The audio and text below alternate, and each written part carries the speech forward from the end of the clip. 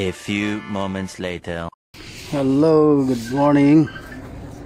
So ito, namimili ako ng sapatos pang trabaho. Roadmate siya. Yan. Natawaran natin ng 130. Yan. Dati siyang 155, tinawaran natin. Kasi yung issue sa planta, hindi maganda yung issue sa refinery na ano, safety shoes. So ito, maganda to. Maganda yung roadmate.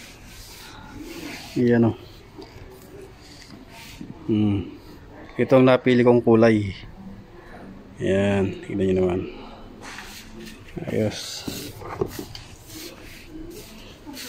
Dami pa yan o. Ang dami pa. Ang dami sapatos. Ayan o. Dami sapatos. Oh, ayan o. Puro ano yan, safety shoes. Ayan. Safety shoes. Ayan o. Matibay yan, roadmate. Matibay ang roadmate. Ayan o. Hmm. So, ito na yung nabili nating sapatos. Mga kabro, ayan. Hmm. May libre pa siyang salamin. Ayan o. Hmm. Susot na natin to sa pamasok natin sa trabaho. Ayan, roadmate. Safety roadmate. Ito, Nandito kami. Ayan. Ayan na, yun na, oh. Ito, ito, ito yung mga nabili namin, mga kabro. Ah. Ako sapatos. Sa kanya, sa motor sa bahay. Pagkitmatic. Ito naman sa chinelas niya. Hmm, ayan. Bench. Yung bench. So, pauwi na kami mga guys. Ayan. So, bye-bye. Ang taxi. Sunod na video ulit.